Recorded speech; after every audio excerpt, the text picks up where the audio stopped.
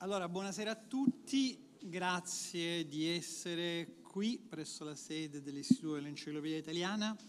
Sono molto contento che presentiamo la rivista Quaderni d'arte italiana, che è un trimestrale d'arte contemporanea che nasce da una sinergia di cui in Treccani siamo particolarmente orgogliosi tra la quadriennale e Treccani. Ringrazio di questo un amico di Treccani come Umberto Croppi, che è presidente della Fondazione Quadriennale, il direttore nonché direttore artistico Gian Maria Tosatti e eh, due esponenti del comitato editoriale che presenteranno la rivista che sono Francesca Guerisoli e Andrea Vigliani. Devo dire che la prima volta che eh, Gian Maria Tosatti ci ha parlato e ci ha presentato di questa rivista eh, ho apprezzato molto il suo coraggio perché eh, voleva appunto mh, definire una pubblicazione dedicata al sistema dell'arte eh, non solo a livello internazionale ma anche con, dire, con quella serietà editoriale che ehm, insomma, nel XXI secolo mi lasciava qualche perplessità che potesse essere accolta non solo da un pubblico, ma anche da chi lavora nel mondo dell'arte con quella giusta attenzione che avrebbe meritato quello che era una sua idea. Quando qualche, insomma, qualche giorno fa ho visto una delle prime copie, ho detto che aveva perfettamente ragione, mi piace dirglielo. E, è una bellissima rivista eh, mostra appunto come ancora oggi si possa credere nel valore dei contenuti e nel valore che può avere l'arte contemporanea, lo dico da un punto di vista treccani, come linguaggio della contemporaneità. E I quaderni hanno una forma che evocano proprio un quaderno come un insieme di fogli che raccolgono appunti, pensieri, annotazioni e ogni numero si articolerà in 14 contributi in eh, una doppia eh, lingua, italiano ed inglese. E anche con questa intuizione, secondo me, intelligente di affidare a curatori, a storici dell'arte, a esperti di discipline, eh, per fare in modo che ancora una volta centrale sia il contenuto. E Credo che aver avvicinato la quadriennale a Treccani sia anche un modo per riconoscere il valore delle istituzioni culturali. Eh, devo dire che il lavoro che sta facendo Umberto Croppi insieme a tutte le persone di Quadriennale che ringrazio, insieme permettetemi di ringraziare anche le persone di Treccani che lavorano nel progetto Treccani Arte. E Credo che sia in questo momento eh, nel nostro Paese un segnale importante, un segnale che mette al centro la cultura, il suo valore, la capacità di credere che al di là delle forse eccessive e inutili discussioni sul valore dei beni culturali c'è un valore, come dire, eh, di tutela che la nostra Costituzione ci richiama sempre del, della cultura che emerge nel lavoro che la quadriennale e il suo direttore artistico vogliono fare.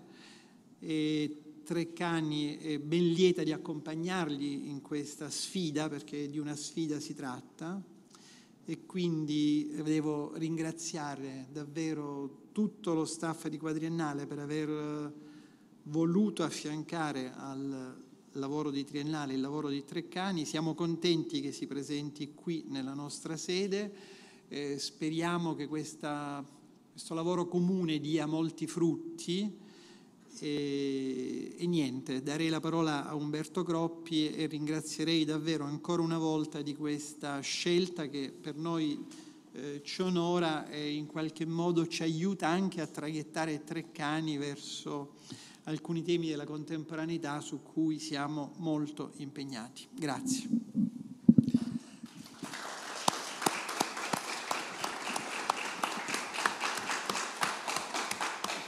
Io dirò pochissime cose e i ringraziamenti reciproci che sono, diciamo, fanno parte del cerimoniale, ci sono delle occasioni in cui invece hanno un valore molto più eh, eh, profondo e, e, onnicomprensivo, perché eh, lo diceva bene il direttore Brai, eh, noi, noi, celebriamo eh, un tipo di attività che non è sufficientemente diffusa nel nostro Paese, cioè quella di mettere in eh, sinergia, uso questa brutta parola che ormai è invalsa, eh, istituzioni pubbliche che hanno dei mandati precisi ma anche appunto eh, tendenzialmente sinergici fra loro.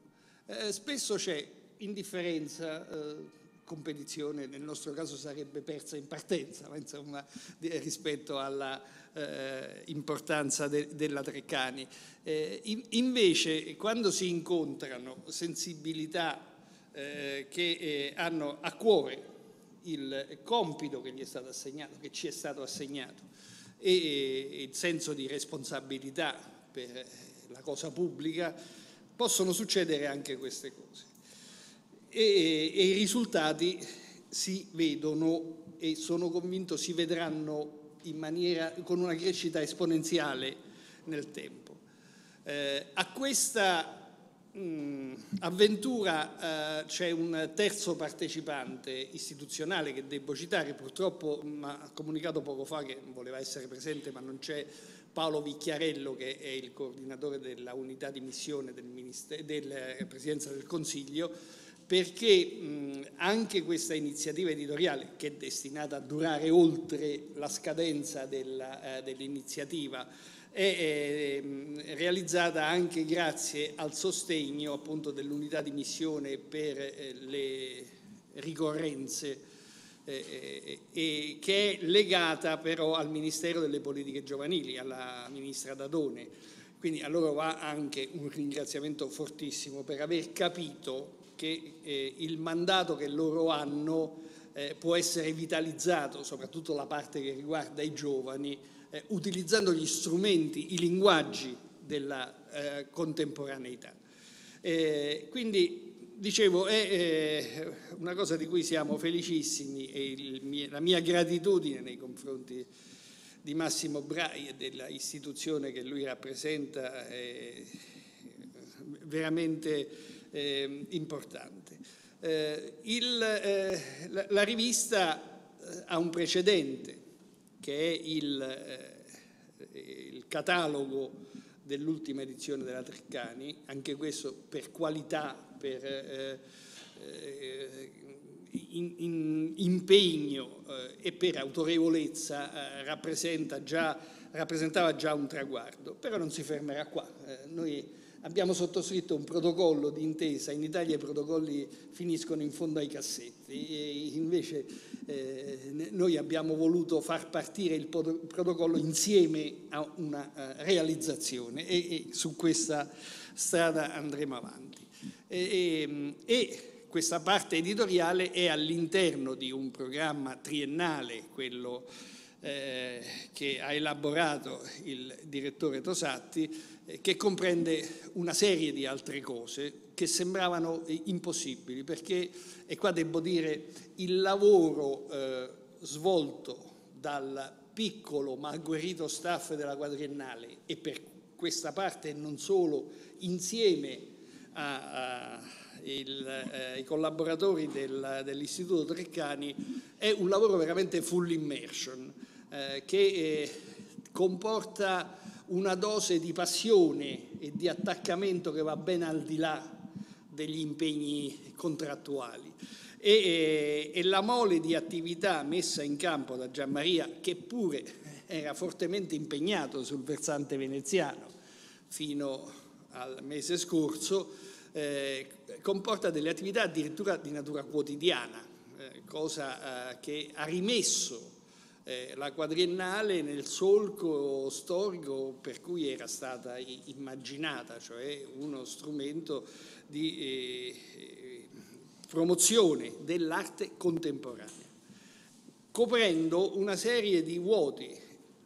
Questa rivista eh, copre un vuoto assoluto, non c'era in Italia in questo momento della nostra storia una, eh, uno strumento di indagine eh, su quello che sta succedendo e per questo è bilingue.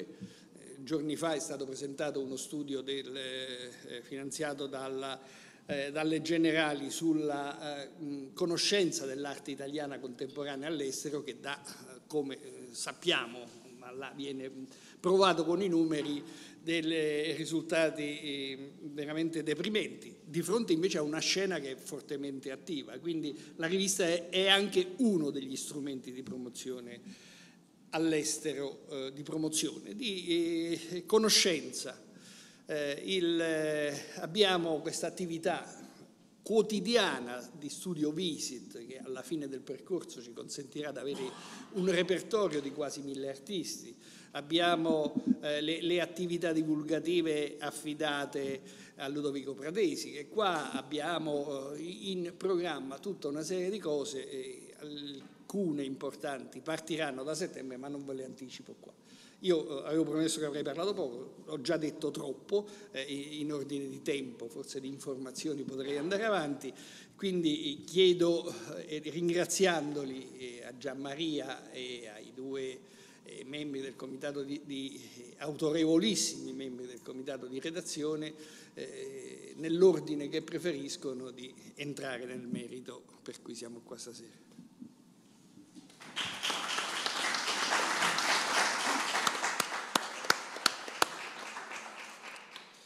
Ringrazio il mio Presidente, ringrazio Massimo Brai, Direttore Generale qui in Treccani, eh, felicissimo che appunto il nostro primo incontro, che è stato un incontro vero e proprio, un vero confronto, eh, ha portato appunto poi alla, alla, realizzazione di un prodotto di cui eh, anche i nostri editori sono, sono soddisfatti. Eh, io sono molto soddisfatto di questo prodotto perché con questo prodotto scriviamo la storia. Scriviamo la storia dell'arte. Eh, può sembrare un'espressione iperbolica, in realtà è molto concreta e vi spiego perché. Alcuni mesi fa scrivevo un editoriale sul Corriere della Sera e parlavo, iniziavo parlando del film di Walt Disney, eh, Luca, che voi tutti probabilmente avrete visto, un film molto bello, eh, lo notavo, dicevo che sarebbe un film da far vedere davvero a tutti, tutti i bambini, eppure a qualche adulto sicuramente, però da capo ci troviamo di fronte a un'Italia degli anni 50, degli anni 60, un'Italia che è rimasta fortemente impressa nell'immaginario eh, internazionale, dopodiché fuori di questo paese sembra che l'Italia sia scomparsa e nel, nel, uh, nell'editoriale dicevo che è successo, cioè perché non abbiamo saputo raccontarci, no? perché non, come dire, fuori da questo paese nessuno sa chi sono gli italiani oggi, che cos'è l'Italia oggi. Uh, L'idea di questa rivista mi è venuta parlando con Mary Jane Jacob, che è una curatrice molto importante, è stata veramente uno dei curatori eh, mitologici negli anni 90, soprattutto quei punti di raccordo tra un mondo dell'arte del XX secolo e un mondo dell'arte che diventava quello del XXI secolo. E parlando con lei mi, mi diceva, sai Gianmaria, io però oltre la versione di Germano Celant faccio fatica a leggere l'arte italiana. E così mi sono detto, beh, allora c'è un problema. E questo problema, tra l'altro, ce, ehm, ce, lo ha ben illustrato quello studio eh, fatto recentemente appunto da eh, alcuni studiosi, tra cui una persona che sta collaborando con noi, Marilena Pirrelli, sta collaborando con noi anche con una certa continuità, eh, perché lo ricordo, la rivista è una rivista che cerca di affrontare il fenomeno dell'arte contemporanea nella sua completezza, quindi non soltanto sui temi critici, ma anche su temi di carattere economico, sociopolitico, perché l'arte non si sostiene da sola, chiaramente, c'è dietro tutta una serie di processi che devono essere studiati per essere anche migliorati. Um, e, e, quindi mi sono detto, beh, uh, è necessario che ci mettiamo a riscrivere la storia dell'arte, anzi a scrivere la storia dell'arte del XXI secolo, perché fino ad oggi tutto questo non è stato fatto. Uh, L'editoria dell'arte del XXI secolo ha prodotto un numero importante di monografie. Le monografie sono la definizione di stelle fisse nello spazio, puntuali, monadiche. Uh, un cielo fatto di stelle sconnesse è un cielo che non ci aiuta a navigare, è un cielo illeggibile. Allora abbiamo bisogno di creare la cosmologia per poter interpretare il cielo, per poter navigare, per poterci muovere, per poter eh, disegnare delle traiettorie che da un certo punto di vista poi diventano i vettori di una storia, della storia di una civiltà. Per cui abbiamo pensato che al di là diciamo, delle, della, di un'attività innegabilmente importante di eh, scrittura di monografie, fosse arrivato il momento di cucire tutto questo in una storia, perché sono convinto che tutto ciò che non sei capace di raccontare forse non lo hai neanche capito molto bene. Allora abbiamo creduto e crediamo ancora che per appassionarsi all'arte contemporanea sia necessario capirla e per capirla giustamente bisogna che noi ti ci accompagniamo e ti facciamo fare un viaggio. D'altra parte è inutile che ci giriamo intorno, voglio dire, le pagine di storia dell'arte che amiamo di più sono quelle che hanno saputo scrivere una loro storia. Quindi, diciamo, quando dico stiamo scrivendo la storia non è eh, in senso appunto metaforico, è in senso molto pratico, cioè stiamo cercando con questa rivista di connettere eh, tante parti, tanti elementi che rappresentano quella che io ritengo una delle generazioni più fortunate e più eh, interessanti che la nostra eh, arte italiana abbia conosciuto almeno dal dopoguerra in poi e che però appunto stava soffrendo di uno scollamento non solo interno ma anche esterno perché ripeto, voglio dire, laddove una cosa non è raccontabile non è nemmeno così tanto condivisibile, il racconto è alla base diciamo delle culture, no? il racconto significa poter avere la capacità anche di espandere una cultura. Quindi creare questo racconto è l'obiettivo primario di questa rivista. Ovviamente è un racconto problematizzato, è un racconto critico, è un racconto che non, non è un racconto di promozione, noi non, non siamo solo, ecco, diciamo la quadriennale ha due grandi colonne, no? eh, ricerca e promozione, ma le due cose vanno per forza insieme, nel senso che noi non, noi non dobbiamo vendere delle cose, promuovere non significa vendere, promuovere significa essere consapevoli del valore eh, di una determinata cultura e poi poterla raccontare per esserne veramente consapevoli bisogna innanzitutto indagarla. Allora in questa rivista ci sono questi strumenti, ci sono diversi testi, testi di filosofi che cercano di creare delle cornici di pensiero attorno ai fenomeni, eh, ci sono, mh, mm, vado, vado in, in, ordine a come appaiono, c'è una, eh, per esempio ecco, parliamo di questo primo numero per esempio, no? il, il, ragioniamo su questa, su questa, logica partendo dal primo numero, un, un uh, il primo numero ha come tema l'Italia, tra l'altro stiamo già stampando il secondo numero che ha come tema il concetto di popolare, il terzo numero ve lo anticipo, ha come, ha come tema quello che ho appena introdotto, cioè che cosa significa scrivere la storia. Perché poi se vogliamo fare una cosa dobbiamo anche problematizzare, no? cerchiamo come dire, una strada e un metodo per poterlo fare, quindi ci interroghiamo attraverso la rivista su questo. Comunque il primo numero parla dell'Italia, mi sembrava corretto, tra l'altro è stato Andrea Vigliani diciamo, un grande sostenitore di questo tema durante la prima riunione di redazione, eh, si apre con un, un articolo che parla, sul, parla, affronta il concetto di identità italiana in questo momento della storia da parte di Nicolas Martino che è un bravissimo filosofo contemporaneo che si occupa di arte contemporanea segue un articolo uh, di Lara De Mori che fa un dialogo con Carlos Basualdo, di, eh, capo curatore del Philadelphia uh, Museum of Art, che è il secondo più grande museo degli Stati Uniti, uh, grande conoscitore di arte italiana che appunto ci dice più o meno alcune delle cose che dicevo io prima, cioè eh, abbiamo un problema, nel senso all'estero è molto difficile comunicare, comunicare l'arte italiana dopo l'arte povera. C'è poi eh, un, un, articolo di eh, Lucrezia Longobardi che fa una cucitura diciamo, di che cosa è successo nel primo ventennio della storia dell'arte italiana, è una prima ipotetica lettura, una prima possibile lettura che unisce i punti. Prima, che ho detto io? Sì, sì, primo ventennio di questo secolo qui, del nuovo secolo. Uh, segue poi in maniera quasi, quasi eh, coordinata, diciamo, uh, un articolo di Elisa Carollo uh, sulle, mh, sul, sul, terzo decennio di questo secolo, quindi sugli anni venti. Allora, se è vero che i primi vent'anni hanno avuto una, una, certa coerenza, anzi una forte coerenza, questo mi, mi, mi va di dirlo, perché in generale Ecco, è proprio questo che è mancato, no? cercare di leggere il fenomeno nella sua coerenza. Gli anni 10 e gli anni 0 hanno avuto non solo una grande coerenza tra loro, ma anche molti elementi di consecutività piuttosto interessanti.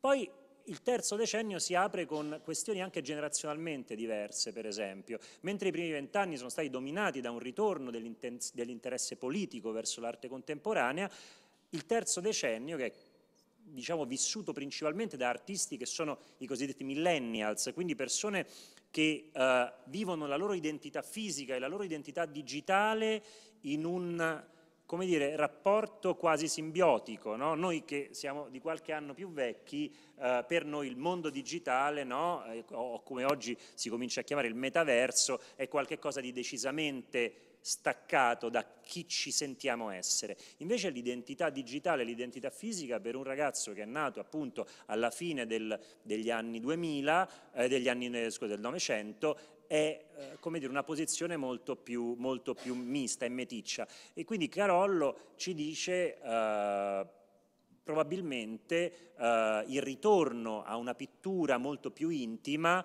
è la necessità di una generazione di interrogarsi su se stessi, quindi non più come i precedenti proiettati verso l'universo politico, sociale, per dire che cos'è, che cosa siamo come comunità, ma un ritorno a dire che cosa siamo perché c'è stato un terremoto, la rivoluzione digitale ha prodotto questo terremoto.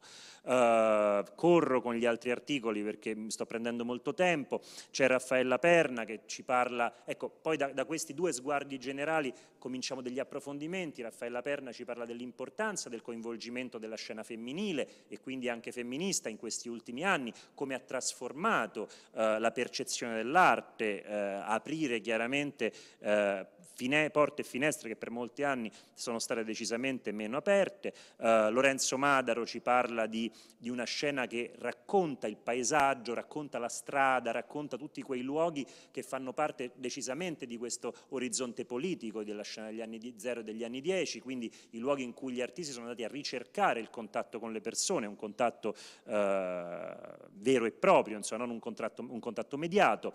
Uh, Angel Moya Garcia ci racconta anche anche delle, della transmedialità che comincia a diventare un elemento importante per l'arte contemporanea. Voglio dire, due delle, delle colonne diciamo, dell'arte del XXI secolo sono l'arte ambientale e la performance. Tutte e due sono elementi, tra virgolette, che provengono probabilmente anche da altri ambiti, diciamo, immagino principalmente per esempio dal teatro. Um, Vediamo che c'è dopo. Ah, c'è Giabascego, questo comincia una, un altro discorso. Giabascego ci parla sempre rispetto all'Italia, non soltanto a quindi che cos'è stata l'arte italiana, ma chi sono gli artisti italiani. Per esempio con una bella conversazione con Francis Hoffman, un artista nato in Ruanda, sfuggito a 12 anni alle, al genocidio del Ruanda, che adesso da 20 anni lavora in Italia, gli abbiamo dedicato anche la copertina e eh, Ijaba, che è una meravigliosa scrittrice di origine somala, ma probabilmente più romana di me, dal punto di vista diciamo, dell'amore che prova per la nostra cultura, la nostra città, eh, fa con lui un ragionamento per dire che cosa è oggi un artista italiano, no? un artista che eh, porta avanti la nostra cultura ma lo fa anche con radici che magari vengono da lontano. Eh, abbiamo una, un approfondimento filosofico nella seconda parte che viene portato avanti da Ilaria Bussoni eh, e da Riccardo Venturi, Uh, mentre uh, Valentino Catricalà si dedica alle prospettive sull'arte digitale, eh, come sta venendo letta in Italia. Um,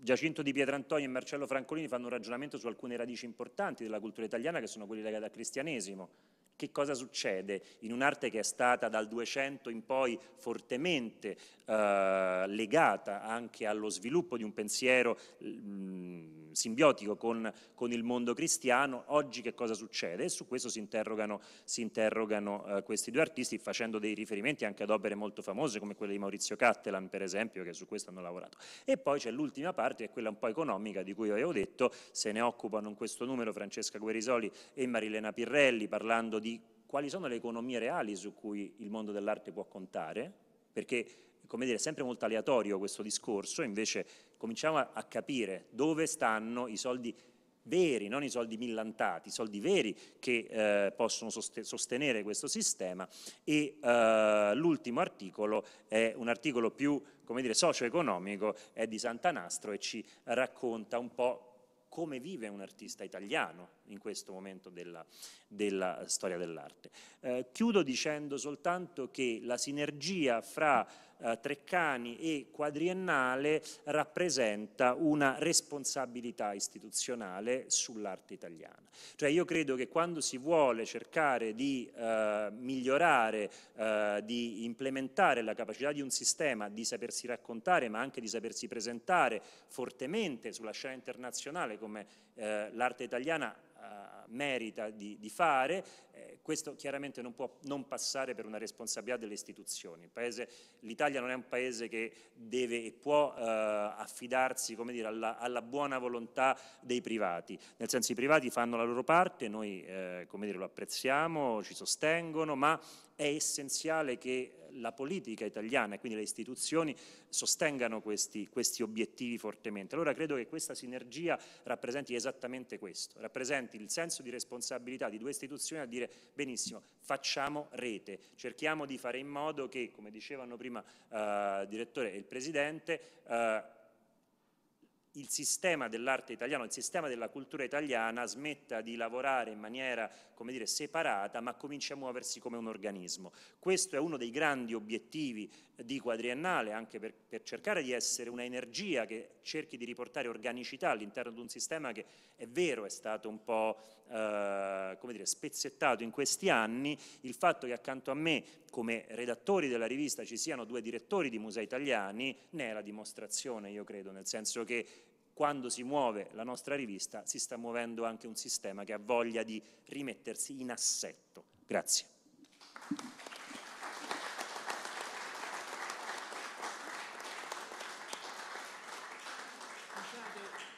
Scusate, io riprendo un secondo la, il microfono per un'informazione che prima avevo omesso. L'impianto grafico della rivista è stato affidato allo studio FM di Milano che eh, ha anche eh, compiuto un restyling eh, complessivo dell'immagine della quadriennale cercando di renderla intanto più coerente e, e anche più eh, aggiornata rispetto alle sensibilità del momento.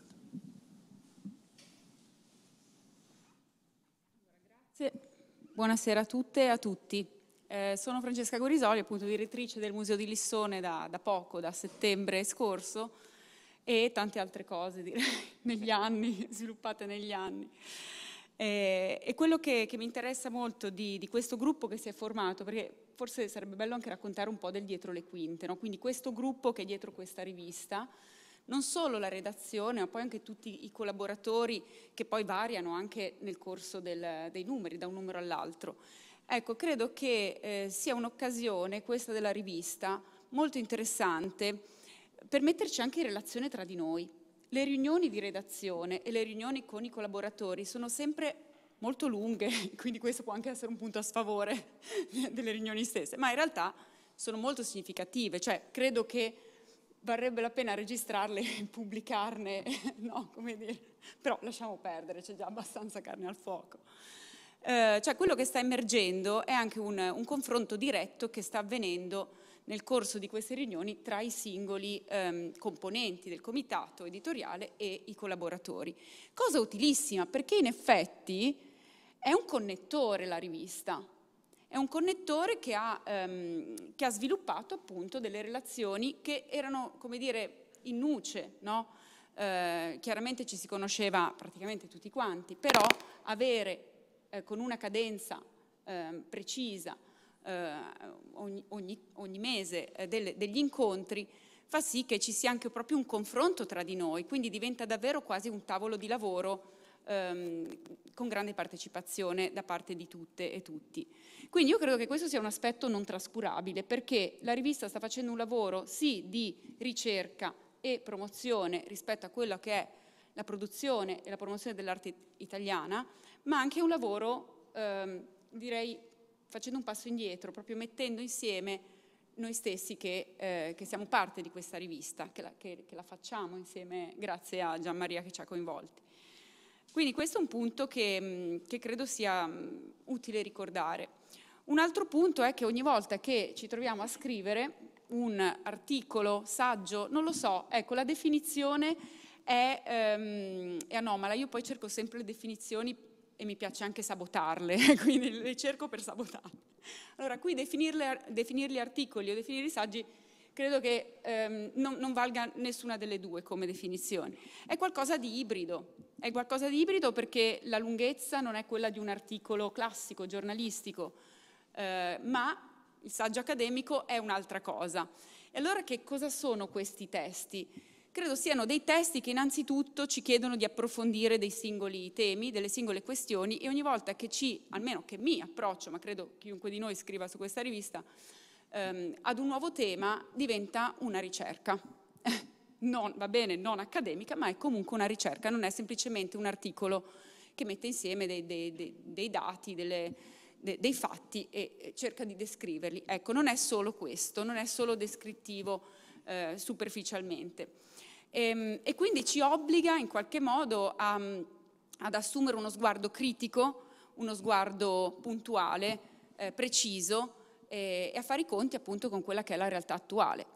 Non è facile in 10.000, siamo arrivati a 10.000 no? battute, concentrare un'idea, uno sviluppo di un'idea, o meglio. Non è per nulla facile, è molto più facile farlo in 30.000 o in 50.000, per quanto mi riguarda, poi forse perché sono anche un po' prolissa, non lo so. Però ecco, arrivare a sintetizzare, um, un, eh, un, a condensare quindi lo sviluppo di, una, di un'idea critica non è cosa semplice. Io credo che, um, insomma, se, se, leggerete i saggi che sono stati scritti per questo primo numero, eh, troverete interessante vedere come appunto c'è da un certo punto di vista una, un certo approfondimento e dall'altro però con grande cioè, vivacità, con grande, um, eh, sì, direi proprio vivacità, cioè non vi annoiate. Per questo credo sia una rivista che eh, può interessare davvero un pubblico, non solo il pubblico dell'arte, ma anche un pubblico generico, un pubblico non specializzato. Uno dei miei, dire, cavalli di battaglia che ho da, da quando ero giovane ventenne in formazione eh, è sempre stato quello di cercare di portare l'arte a tutti e a tutte. Altrimenti, se la dobbiamo portare solo ai collezionisti, eh, non lo so, mm, preferirei fare altro. E, ehm, e, lo dico da direttrice di museo, dove appunto nel, nel programma eh, del, del, del, museo che, che dirigo appunto da, da, settembre, il MAC di Lissone, il Museo d'Arte Contemporanea di Lissone, è proprio un punto per me estremamente importante, cioè cercare di rompere quella barriera eh, di autoreferenzialità eh, di, che, che, la, che, molti pensano eh, sia proprio tipica dell'arte contemporanea. Poi quando però la frequentano, ecco che eh, questo, questo, pregiudizio entra in, in discussione, viene messo in discussione. Quindi la rivista credo che abbia anche questo come obiettivo, no? cioè proprio quello di sfondare questa percezione di autoreferenzialità dell'arte contemporanea che purtroppo è ancora molto presente. È molto presente. Vabbè, qua, poi potremo indagare i ruoli, soprattutto i ruoli istituzionali della scuola, la scuola pubblica e privata, eh, il fatto che il contemporaneo non venga di fatto affrontato, se no in rarissimi casi a discrezione di un docente illuminato o illuminata, e, e quindi ecco che ci troviamo su, sul contemporaneo anni luce indietro rispetto ad altri paesi, purtroppo. E quindi ancora di più ehm, un, una rivista, una rivista come questa e le istituzioni hanno, credo, il compito, il dovere di eh, cercare di promuovere l'arte, gli artisti, il sistema dell'arte italiana, prima di tutto all'interno dell'Italia e certamente, come ci dice la ricerca del Sole 24 Ore, capitanata da Marilena Pirrelli, che è caporedattrice di, di Art Economy 24, la pagina per cui ho scritto finché non sono diventata direttrice, dopodiché non ho più avuto tempo di scrivere ovviamente. Però ecco, ehm, il grande problema della, della visibilità degli artisti italiani all'estero è un problema strutturale dell'Italia e riprendo quello che è stato detto precedentemente, cioè il fatto che è necessario fare rete. Noi chiudiamo proprio il, il nostro pezzo eh, dicendo questo, cioè qual è il modo per uscire da questa invisibilità. Cioè ci sono tante energie, tante mh, ricerche in Italia, c'è una ricerca artistica avanzata dal punto di vista della forma, del, del concetto, insomma non ha nulla da invidiare rispetto eh, a, ad artisti che, eh, che, sono molto in voga eh, ne, negli altri paesi, che hanno raggiunto diciamo, un livello ehm, eh, internazionale di rilievo. allora ecco, probabilmente il problema è proprio questo, che eh, le strutture pubbliche, le strutture private ci sono, ma c'è la necessità di, come dire, legarle insieme, di eh, fare un lavoro sinergico, ehm, per cui appunto, eh, ecco, come avviene in altri paesi. Eh, quindi questo, il, il tema dell'economia che sostiene l'arte, credo sia un tema trasversale ad ogni numero, cioè questo sia un numero, una rivista di critica d'arte, ma per, per, parlare di critica, così come per parlare di storia dell'arte, dobbiamo, a mio, a mio parere, ehm, andare allo scheletro delle cose, cioè che cosa permette agli artisti di sostenersi, di poter produrre, di poter andare all'estero, di poter, ehm, di poter essere artisti di rilievo a livello internazionale. Eh, per cui credo che appunto finora ogni numero ha avuto un, un, articolo, un pezzo, come vogliamo chiamarlo, un saggio di taglio economico. E, ehm, ecco, è, ci, ci, potrebbe essere chi, ehm, chi, solleva una critica a questo, cioè ma perché una rivista di critica propone anche saggi di taglio economico? Ecco, la mia risposta è che senza l'analisi dello scheletro non possiamo analizzare il corpo che poi vediamo, per cui credo che, che dovremo sempre eh, avere un pezzo su, eh, di, con questo taglio. Eh, che altro? L'altra questione, secondo me importante, che non è fisicamente qui, ma che c'è online, è il progetto Panorama. Progetto Panorama di cui eh, si è accennato cioè la ricognizione sul territorio di, sono, di quella che è la produzione artistica, quindi facendo studio visit dedicati con poi un report, una relazione di, eh, di ogni studio visit.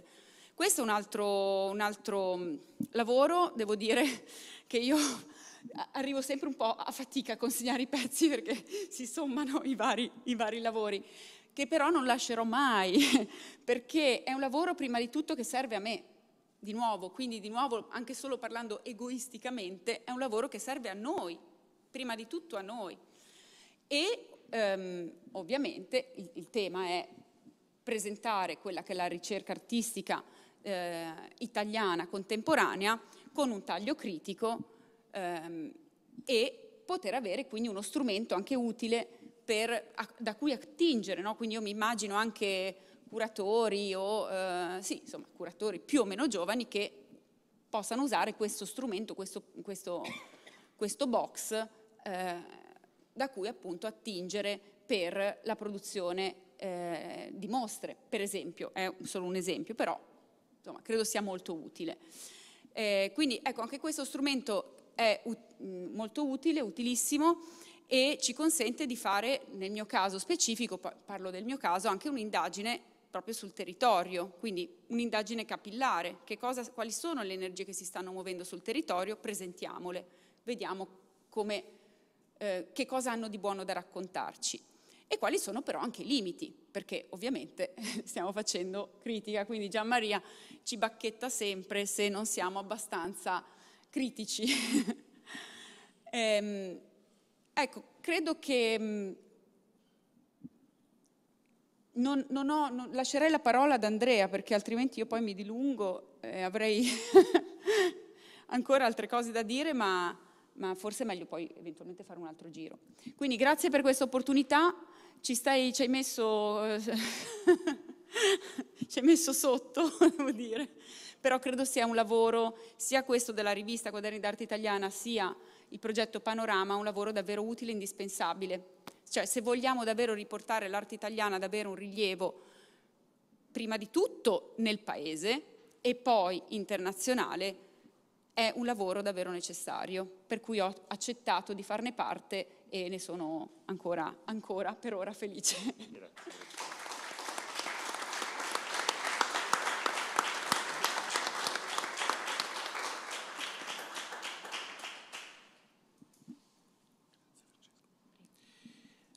Buonasera a tutte e a tutti. Um, mi scuserete se a un certo punto leggo una pagina, si fa sempre no? quando si presentano i libri, c'è anche il momento della lettura. Um, e parto, prima, come dire, farò una piccola introduzione, parto da un'espressione che adesso ho voluto rileggere, da una piccola frase che ho voluto rileggere, far diventare chi guarda, e quindi anche chi legge, parte dell'operazione artistica. Uh, sì, Gian Maria, quando abbiamo parlato del, uh, dire, del tema del primo numero di questa rivista, che è a suo modo storica, storica in generale, ma soprattutto storica in questo momento, storica forse per le prospettive che si pone nella ricerca da condividere sull'arte italiana, abbiamo detto che forse il tema da proporre sul primo numero era proprio l'Italia. Dice, un'altra volta, ancora l'Italia, un numero sull'arte italiana, una rivista sull'arte italiana, il tema è l'Italia. Sì, perché ho un po' l'impressione, anzi, devo dire, vi darò poi un esempio mio personale, che eh, per molti aspetti si parla di una cosa allo sfinimento senza in realtà parlarne mai veramente. Si gira intorno e ci si crea, come dire, una specie di eh, illusione di aver approfondito l'argomento. E sull'Italia ho l'impressione che questo stia accadendo da troppo tempo, forse perché siamo anche molto abili con la parola, con il teatro, con la messa in scena, senza veramente mai dire nulla che smuova, diciamo così, questo effetto fata morgana, diciamo così. Eh, come sapete dirigo da qualche mese un museo che si chiama Museo delle Civiltà, che è il Museo Nazionale di Antropologia. E all'interno di questo museo riceviamo molte richieste di poter visionare eh, quello che era, fino a direi più di cinque decenni fa, un museo aperto, eh, il museo coloniale italiano. E oggi non sappiamo nemmeno come chiamarlo esattamente, io non, ho messo in crisi il nome che ho trovato e non credo che si debba nemmeno chiamare museo, non so esattamente quando aprirà, non so come aprirà, ma so che, come ho dichiarato recentemente nei saloni del nostro Ministero, non vorrei essere quello che apre il nuovo museo coloniale, l'ex museo coloniale che viene aperto come il nuovo museo coloniale. E eh, parlando con tutta una serie di persone, di intellettuali, di artisti, molti afrodiscendenti, eh, non tutti hanno l'intenzione di parlarmi, non tutti hanno l'intenzione di come dire, venire in un luogo che è stato definito, non citerò ovviamente l'autore di questa espressione, ma citerò l'espressione, un luogo di violenza percepibile e quindi percepita. Allora, se, come dire, esiste un museo dove alcuni di noi, alcuni di noi vedono la bellezza, l'importanza di un documento storico, ci sono persone che ne vedono la terribilità, la, come dire, impossibilità proprio psicologica, forse direbbe Validrad va al di là anche dell'aspetto psicologico, di guardarla, di ascoltarla e quindi di dare autorità istituzionale a quella cosa lì. Allora, in, al centro ha fatto molto bene Gianmaria eh, di contraddire mh, parte del suo gruppo editoriale che lo voleva all'inizio.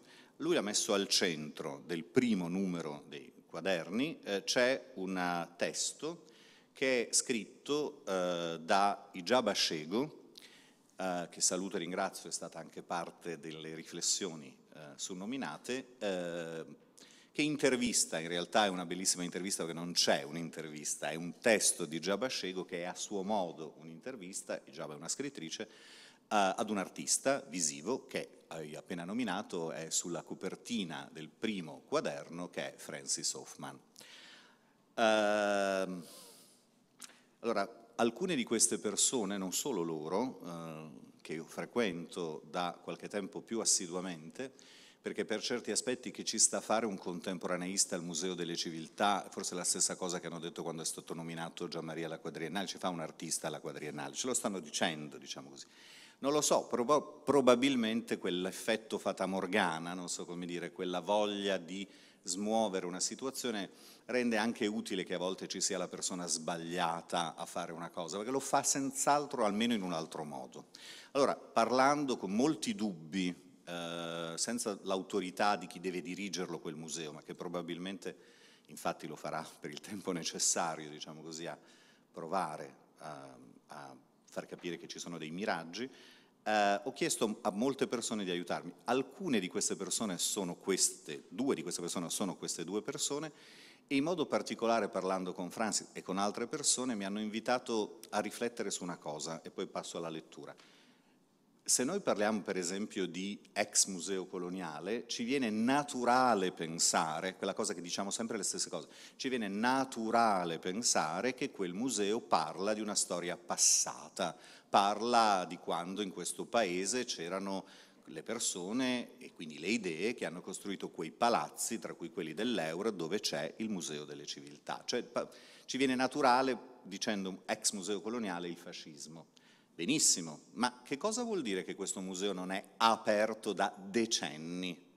Cioè non sarà che questo museo non aperto da decenni ci parla anche del modo in cui abbiamo rimosso il problema per decenni? Non riguarda anche la nostra responsabilità nell'aver eliminato il problema, nell'aver messo il problema sotto il tappeto, nel parlare d'Italia senza parlare d'Italia da tutti i punti di vista e, come dire, mettendo nel discorso non le solite parole, definizioni d'Italia, ma cercando di guardare all'Italia nella sua irriducibile complessità che comporta anche il fatto di affrontare alcuni aspetti, come per esempio quello di un ex museo coloniale chiuso da decenni e che adesso tentativamente dovrebbe provare a riaprire. Come? Beh, come forse rileggendo testi come La terza patria, conversazione a specchio con Francis Hoffman di Giabascego, ve ne vorrei leggere due pezzi. Posso, certo la lettura è noiosa, cercherò di essere meno noioso. Siamo due artisti. Io, i Giabascego, scrivo testi letterari di diversa forma e origine. Francis Hoffman è un artista visuale che usa per le sue opere materiali recuperati o donati. Ci portiamo entrambi due paesi sulle spalle, due continenti. Siamo Europa, ma siamo, anche se in modo diverso, Africa. Francis è nato in Ruanda, io invece sono nata a Roma, da genitori somali scappati dalla dittatura di Said Barre. Ma quando cominciamo a parlare non iniziamo la conversazione dal Ruanda o dalla Somalia, cominciamo dalla nostra arte. La terza patria, il mestiere tanto voluto, il cammino che abbiamo intrapreso. La voce di Francis si colora di entusiasmo quando parla del caffè che usa nelle sue opere, mischiandolo alla colla e all'acqua. Adesso parleremo un po' di caffè e un po' di lingua italiana, abbiate pazienza. Caffè che fa da controcanto al gesso e alla tradizione europea che in parte lo ha formato. Il caffè è legato a doppio nodo a Ruanda. Lo ha portato la madre dopo un ritorno tanto atteso nel paese natale e il fatto di consumare un caffè prodotto nella propria terra ha colto di sorpresa Francis. Prima del genocidio il caffè ruandese, mi spiega, non era una bevanda popolare, viveva, veniva scusate, esportato e quasi mai consumato in loco. C'era più l'influenza francese del tè con il latte. Il Ruanda, prima degli anni 90 del XX secolo, non era un paese da caffè ma poi, dopo il genocidio, ne è diventato un grande consumatore. Questa novità, che la madre quasi casualmente aveva riportato dal viaggio nelle sue valigie, ha spinto Francis non solo a bere con gusto il caffè prodotto dalla sua terra, ma a pensare al caffè anche come possibile materiale da utilizzare nelle sue opere, in cui ha sviluppato una vera e propria ossessione per la bevanda. Ha cominciato a studiare, anche dal punto di vista chimico, i fondi di caffè e a raccoglierli in modo certosino, venendo in contatto con molte persone, molte molte vite.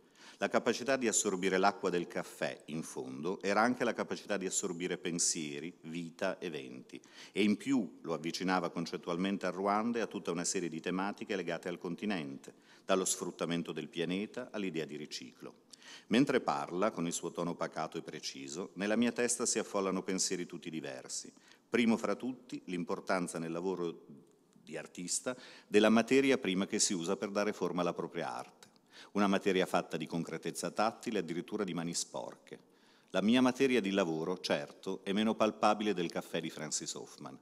Io uso le parole, la lingua italiana, ma sento tra le mani la stessa concretezza che lui prova quando maneggia il suo strumento di lavoro. Scrivo in una lingua che non è quella dei miei genitori, non è né il somalo materno né il bravano paterno, ma la lingua di chi ha colonizzato la Somalia, una lingua europea che ha imposto il suo alfabeto, il suo ritmo, le sue parole d'ordine ad un popolo lontano, un popolo dell'equatore, che è stato costretto a piegare il capo e suo malgrado a sottomettersi. L'italiano che uso pur essendo la bella lingua di Dante Alighieri, di Giacomo Leopardi, di Elsa Morante e Natalia Ginsburg, si porta dietro molti elementi di tossicità. Ma nella mia scrittura l'italiano diventa qualcosa di diverso, si spoglia dei panni del colonizzatore per indossare quelli più intimi di chi, come me, in questa terra ci è nato. Andando in fondo, ci rivela un'altra bella cosa Ejaba, ci parla di un'altra bella cosa. Io passo molto del mio tempo a capire in che struttura mettere contenuti delicati come guerra, razzismo, colonialismo. È un lavoro non di testimonianza, ma di scavo storico e artistico. Tuttavia ho dovuto difendere il mio lavoro da etichette che tendevano a squalificare la matrice della mia arte o peggio a inferiorizzarne le intenzioni. Ho lottato per essere definita artista. Continuavano a definirmi, ed è durato per anni, testimone, è qualcosa che non è successo solo a me. Per 200 anni, e con questo voglio fare un esempio concreto, l'editoria che conta ha negato l'arte ai libri degli afrodiscendenti americani, definendo la testimonianza e spesso negando l'autorialità alle persone nere, chiedendo loro a gran voce di tirare fuori il bianco che aveva composto quell'opera. Si negava l'immaginazione, in parte, 200 anni dopo, è successo anche a me e a molti altri. Anche su questo punto Francis Hoffman ha trovato una strategia. Lui non si chiama Francis Hoffman. Hoffman, badate bene, senza l'H. Ha un altro nome che conosce solo lui e ovviamente il suo nucleo stretto, ma le opere le firma con questo nome, che definire neutro forse è un errore, ma è un nome che di primo acchito, ecco, non ci fa pensare all'Africa. Le persone all'inizio non sanno nulla della sua storia, si godono l'opera senza sapere niente del suo percorso. In un certo senso il suo nome è già parte del suo lavoro artistico, non è un nome che nasconde l'identità, da confondere con un processo di sbiancamento, ma è un nome che agisce sul pregiudizio del prossimo, che lavora sul suo immaginario. Opere e nome giocano su un terreno minato e riescono con grande eleganza a far diventare chi guarda parte dell'operazione artistica. Allora, secondo me, in questo ambito, avere al centro di questi quaderni sull'arte italiana qualcosa che finalmente parla dell'arte italiana, dell'identità italiana, con quell'alfabeto e con quella capacità di evitare i luoghi comuni, di iniziare a dire quello che magari in altre culture eh, che hanno affrontato certi argomenti, tra cui la propria identità è più frequente, è uno dei meriti, non è il solo, ho voluto fare un esempio, ma è uno dei meriti del modo in cui con il comitato redazionale, le lunghissime riunioni, spesso impossibili da seguire se non Gianmaria dall'inizio alla fine, stiamo cercando di immaginare non l'ennesimo, diciamo così, eh, libro, pubblicazione, giornale su un tema trito e ritrito, ma di farlo come forse questa nostra generazione, questo nostro gruppo di lavoro intende farlo, cioè mettere, come dire, far diventare chi guarda e quindi chi legge parte di un'operazione artistica.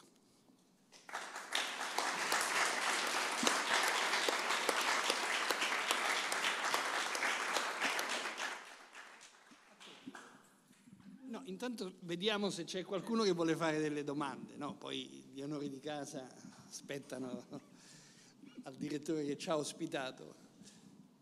Ci sono domande, interventi? Allora, ringraziamo anche i convenuti che sono stati così attenti e anche numerosi considerata la giornata estiva e gli altri eventi. No, io devo solo ringraziare, devo dire anche gli interventi fanno molto riflettere su quanto sia utile avere una rivista dedicata all'arte italiana. È chiaro che l'impegno deve essere quello di far conoscere eh, l'arte come la cultura italiana di cui ahimè, forse facciamo davvero tutti troppo poco. Le istituzioni devono fare una parte importante, ha detto giustamente il direttore Tosatti. E l'ultimo intervento mi colpisce. Eh, Treccani dall'inizio lavora molto sulle parole e, e su come la lingua cambia. Eh, l'ex mi convince pochissimo, devo dire sinceramente. Eh, perché quello è un museo, non è un ex museo. E quindi rifletterei su questo. Eh, Però anche su questo credo che una rivista abbia importanza, abbia importanza proprio per riflettere su quella che è stata la storia di questo paese, giustamente sulle pagine che non si vogliono vedere, non si vogliono ricordare. Eh, e quindi è un'operazione culturale a tutto tondo e bene fa la quadriennale e il suo direttore a voler richiamare l'attenzione di tutti noi su come proprio attraverso l'arte si può leggere la storia. Quindi ancora una volta grazie per aver affiancato Treccani e speriamo di rivederci per il secondo numero che abbiamo saputo è già in stampa. Grazie.